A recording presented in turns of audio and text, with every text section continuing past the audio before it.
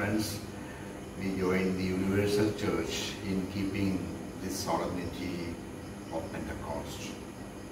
And we know that this happens, this solemnity is kept 50 days after the uh, central feast of ours, that is Easter. And today is also, among other things, the day of the birth of the church.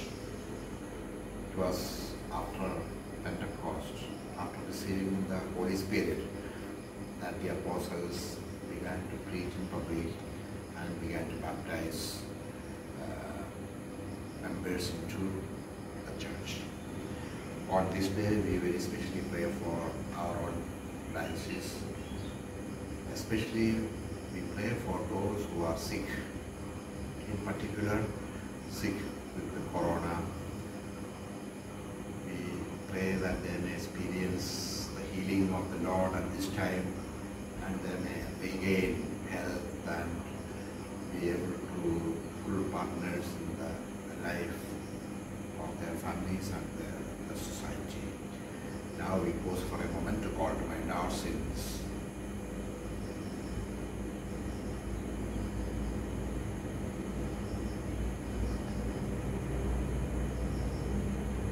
I confess to To Almighty God and to my brothers and sisters that I have greatly sinned in my thoughts and in my words, in what I have done and in what I have failed to do, to my fault, to my fault, to my most grievous fault. Therefore I ask Blessed Mary, ever Virgin, all the angels and saints, and you, my brothers and sisters, to pray for me to the Lord our God. May Almighty God have mercy on us, forgive us our sins, and bring us to our lasting life. Amen.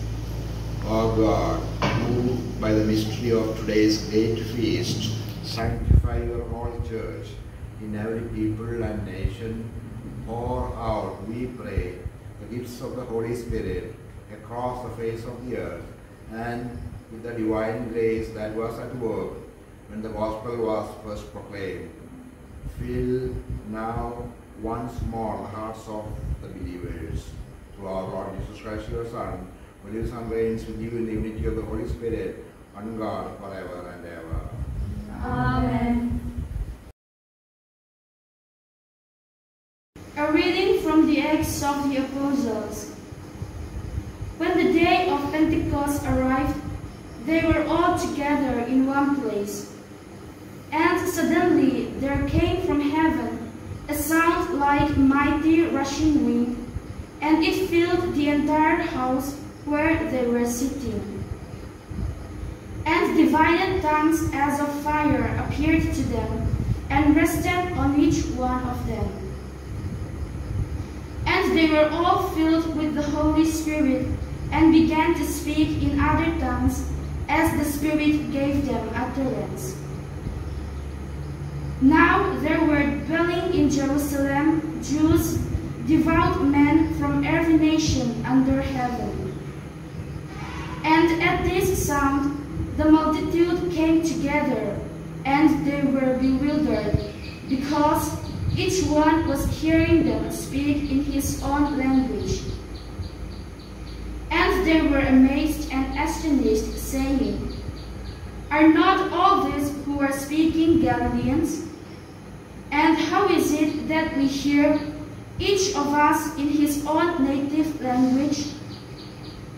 Parthians and Medes and Elamites and residents of Mesopotamia, Judea and Cappadocia, Pontus and Asia, Phrygia and Pamphylia, Egypt and the parts of Libya belonging to Cyrene, and visitors from Rome, both Jews and proselytes, Cretans and Arabians.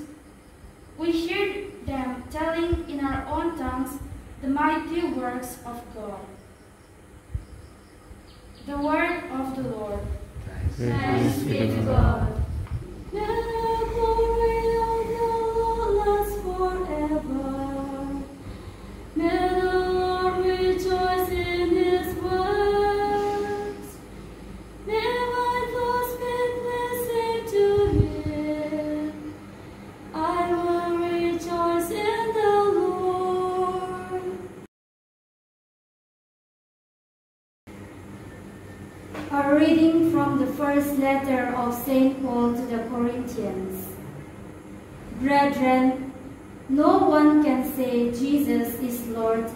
Except in the Holy Spirit. Now, there are varieties of gifts, but the same Spirit. And there are varieties of service, but the same Lord. And there are varieties of activities, but it is the same God who empowers them all in everyone. To each is given the manifestation of the Spirit for the common good. For just as the body is one and has many members, and all the members of the body, though many, are one body, so it is with Christ. For in one Spirit we were all baptized into one body, Jews or Greeks, slaves or free, and all were made to drink of one Spirit. The word of the Lord. Thanks be to God. Dear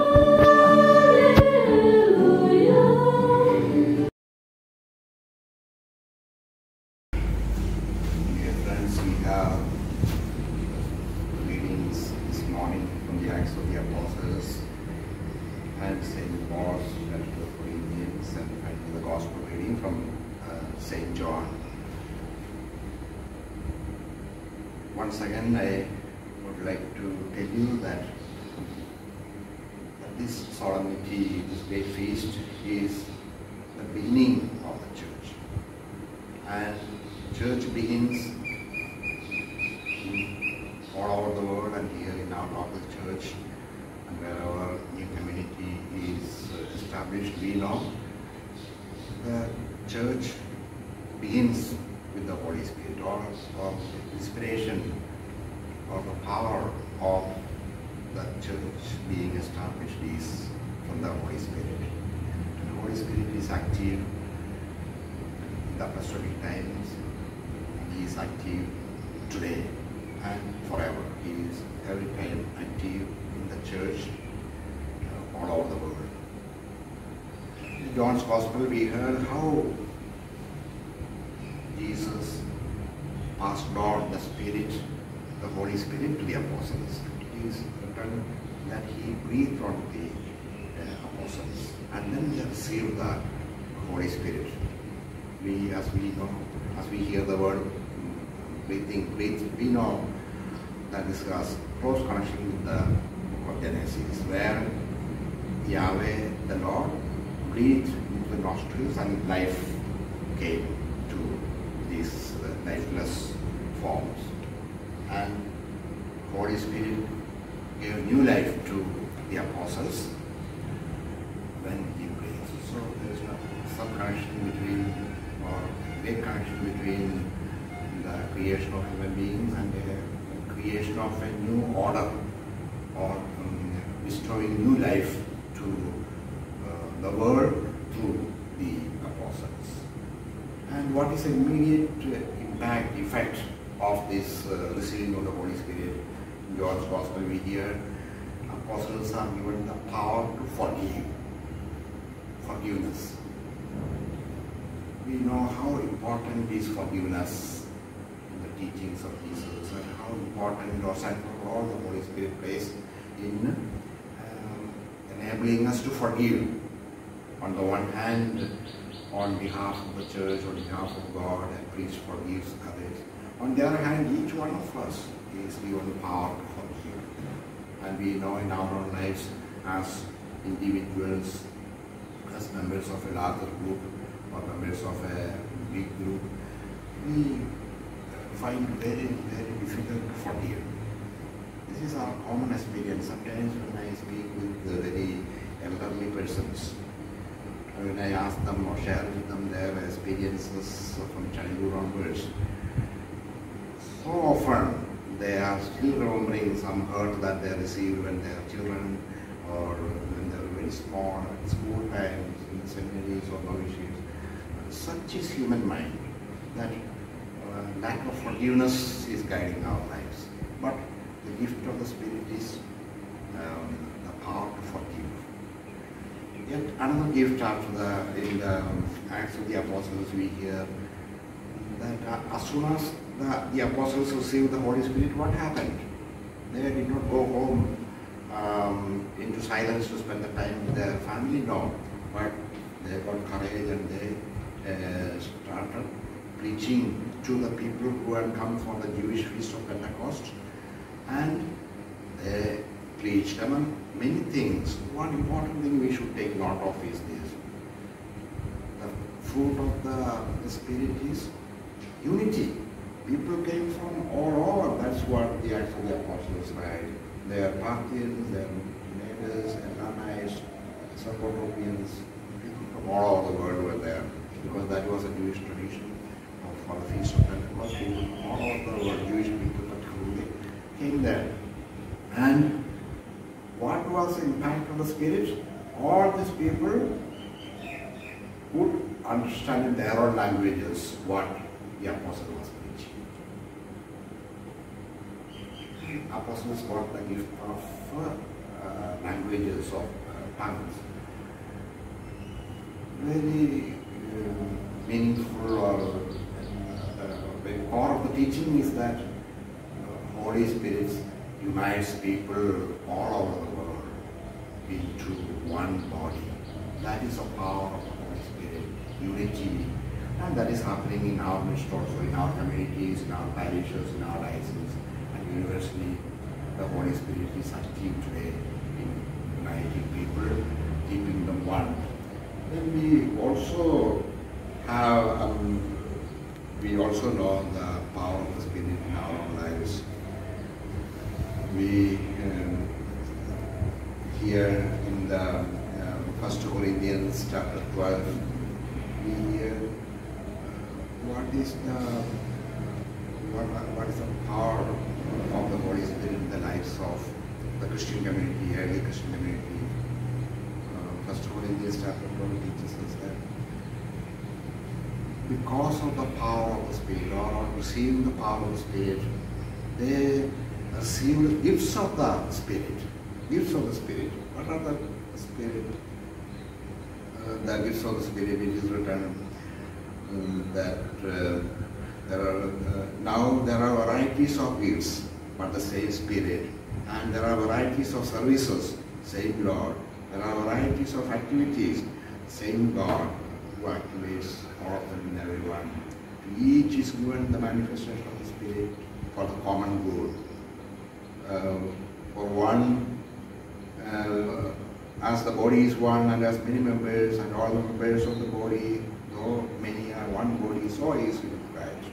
Then uh, Saint Paul goes on to uh, teach that some are given the, the gift of service, and one is given the gift of prophecy, and another one is given the gift of uh, charism, charism of healing, and another one given the charism of uh, teaching, and another one to uh, speak in tongues, and another one to put the gift tongues, etc. So each member uh, who receives the Holy Spirit is recipient also of a gift, a charism, each member to be at the service of the body of Christ, the community to which he or she belongs to.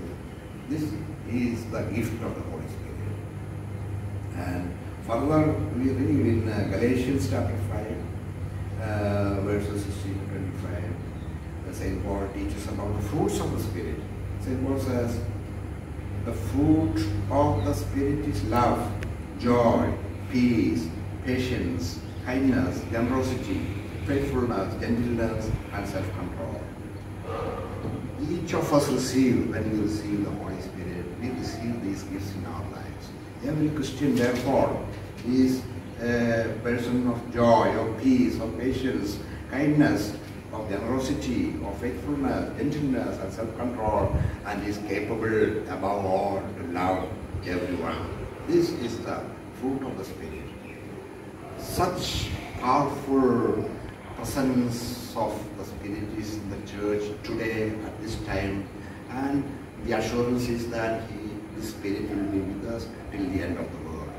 We are connected through the, the sacrament of confirmation to this great source of power, um, the Holy Spirit uh, in our lives. This is the um, gift of uh, uh, Catholic Church, each one of us.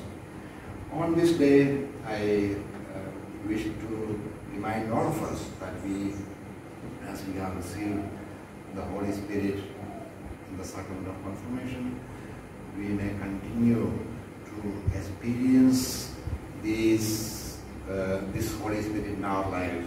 And how do we experience? By uh, the gift of unity, the ability to forgive, by uh, activating the uh, uh, charisms, gifts in our lives and service of others, and also living the fruits of the Holy Spirit in our lives and in our communities.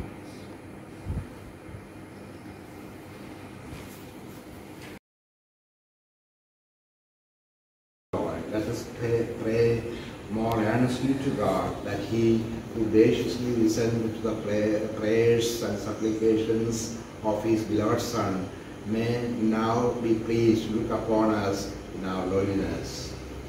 Let your response be Send forth your Spirit, O Lord, and renew the face of the earth. Send forth your Spirit, O Lord, and renew the face of the earth. We pray for the Holy Mother Church and all its pastors, the Pope, the bishops, the priests, and the deacons, that the Church may be filled with your Holy Spirit and made courageous witnesses of your gospel throughout the world. We pray. Send forth your Spirit, O Lord, and renew the face of the earth. That Mary, whose feast we celebrate tomorrow under the title Mother of the Church, may continue to lead the Church, which was born on Pentecost Day, under her maternal care. We pray. Send forth your Spirit, O Lord, and renew the face of the earth. We pray for consecrated religious, women and men, and all lay missionaries, that they may be renewed and strengthened by the Holy Spirit to carry out their prophetic mission with courage in the face of difficulties. We pray. Send forth your Spirit, O Lord, and renew the face of the earth. We pray for the sick and the suffering, that they may experience the healing power of the Holy Spirit and be made well to serve you for the rest of their lives. We pray. Send forth your Spirit, O Lord, and renew the face of the earth. We pray for the dead and those in purgatory, that they may be cleansed of all their sins and be admitted to enjoy eternal peace. We pray. Send forth your Spirit, O Lord, and renew the face of the earth. O God, who know that our life in this present age is subject to suffering and need, hear the desires of those who cry to you, and receive the prayers of those who believe in you through Christ our Lord. Amen. May all share this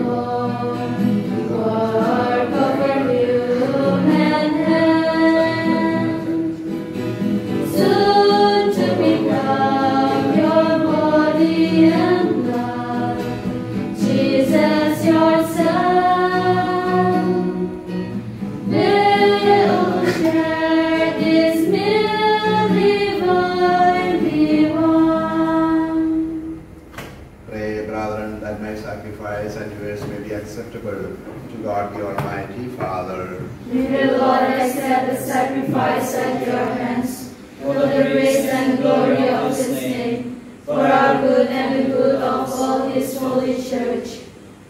Grant, we pray, O Lord, that as promised by your Son, the Holy Spirit may reveal to us more abundantly the hidden mystery of the sacrifice and graciously lead us into all truth through Christ our Lord.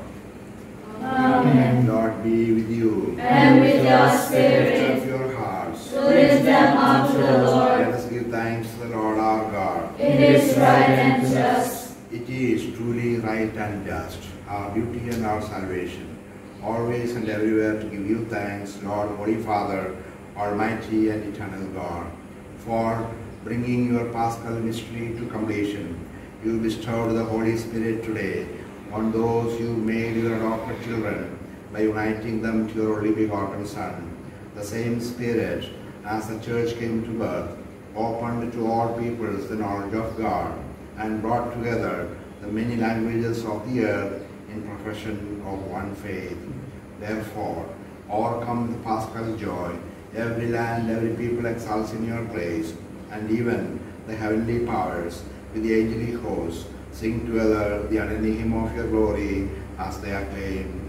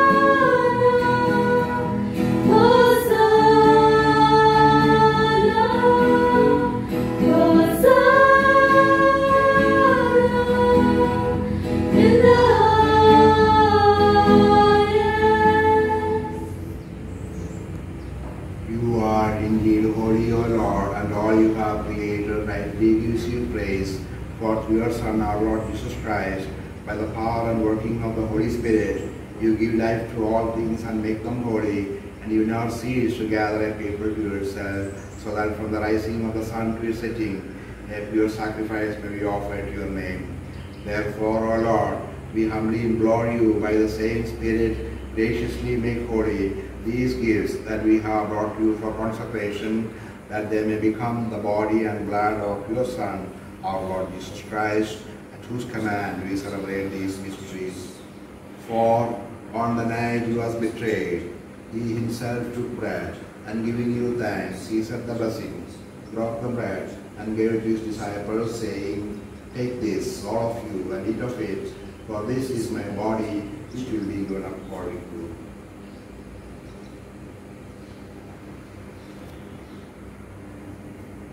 In a similar way, when supper was ended, he took the chalice, and giving you thanks, he said the blessing, and gave the chalice to his disciples, saying, Take this, all of you, and drink from it, for this is the chalice of my blood, the blood of a new and eternal covenant, which will be poured out for you and for many for the forgiveness of sins.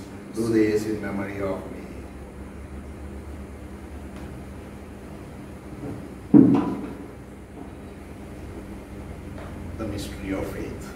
The mystery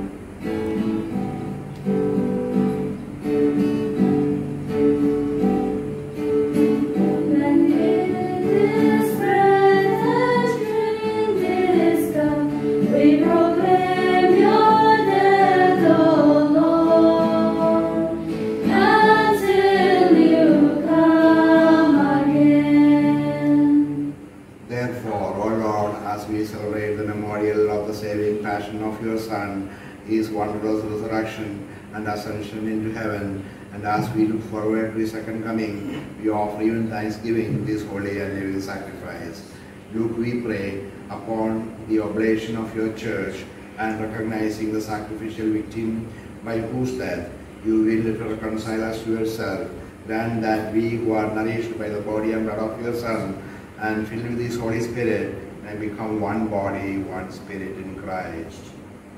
May he make of us an eternal offering to you, so that we may obtain the inheritance with your elect, especially with the most blessed Virgin Mary, Mother of God, with your blessed apostles and glorious martyrs, and with all the saints, In him and in him, O God, Almighty Father, in the unity of the Holy Spirit, all glory and honor is yours forever and ever. Amen. Amen. At the Saviour's command and formed by divine teaching, we dare to say, Our Father, Who art in heaven, hallowed be thy name. Thy kingdom come, thy will be done, on earth as it is in heaven. Give us this day our daily bread, and forgive us our trespasses, as we forgive those who trespass against us. And lead us not into temptation, but deliver us from evil. deliver us, Lord, we pray from every evil. Graciously grant peace in our days, by the help of your mercy we may be always free from sin and safe from all distress, as we await the blessed hope and the coming of our Saviour, Jesus Christ. For the kingdom, the power, and the glory are yours, now and forever. Lord Jesus Christ, who said to your apostles, Peace I leave you, my peace I give you, look not on our sins, but on the faith of your church, and graciously grant her peace and unity in accordance with your will, live and reign forever and ever. Amen. The peace of the Lord be with you always. And with your spirit. Let's offer each other a sign of peace.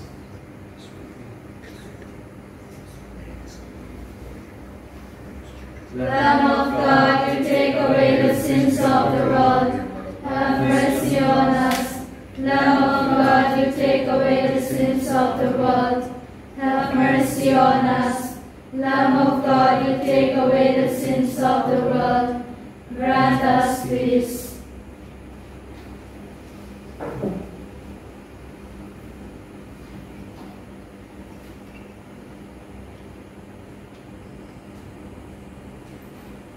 Behold the Lamb of God. Behold him who takes away the sins of the world.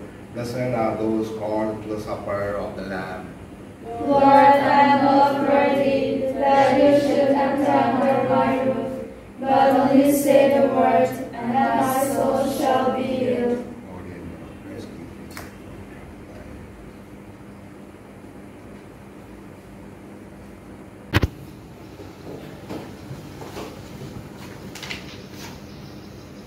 O God, who bestow heavenly gifts upon your church, safeguard, we pray, the days you have given, that the gift of the Holy Spirit poured out upon her may retain all its force, and that this spiritual food may gain her abundance of eternal redemption through Christ our Lord.